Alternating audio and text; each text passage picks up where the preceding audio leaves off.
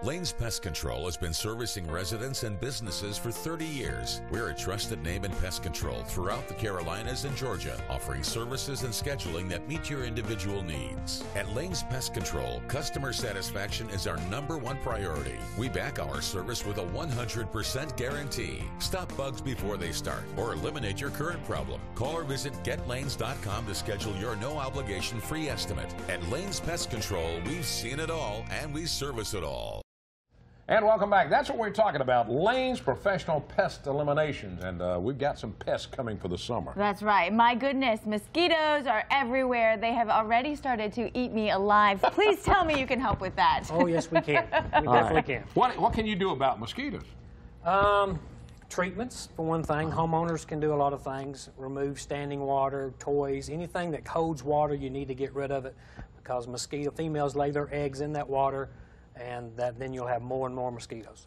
So the bucket of water that my son has Dump it sitting on Anything our front standing porch right now is bad. Uh, pool liners, lawnmowers, toys, your grill liner, cups, uh, a, a cap off a Coke can can literally breed thousands of That is mosquitoes. unbelievable. serious? Just Wow. that much water. So Oh you, my you got So to get make sure no standing water. No standing water. All right, Okay. I, got, I got to ask you this. Why do mosquitoes like blood?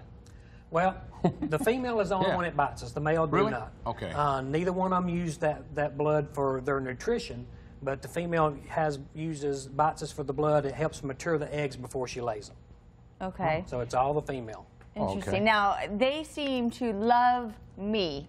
I could be sitting next to somebody, they don't get any bites, but they'll come after me. What makes them do that? Uh, mosquitoes are mostly drawn to us by carbon dioxide that we put off. Mm-hmm. Uh, that is the main source to do. Then you have uh, different people sweat. You have all kind of acids come out of your sweat and the heat of your body.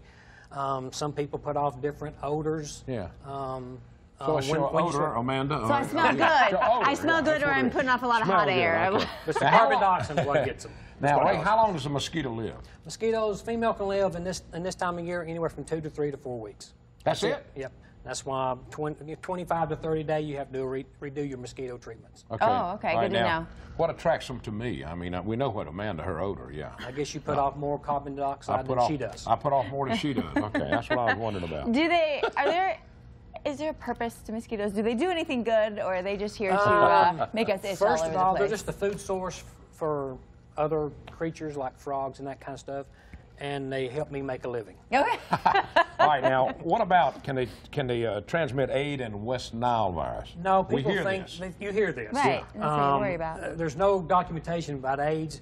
Mosquitoes don't have the capability of maintaining the viruses um, in their system to transmit it to other organisms. They just don't have that ability. Even though there have been 40 to 45 cases of mosquitoes having the West Nile, but Yeah. they don't have that. They don't have the ability to transmit it to any other kind of organism, especially humans. All right.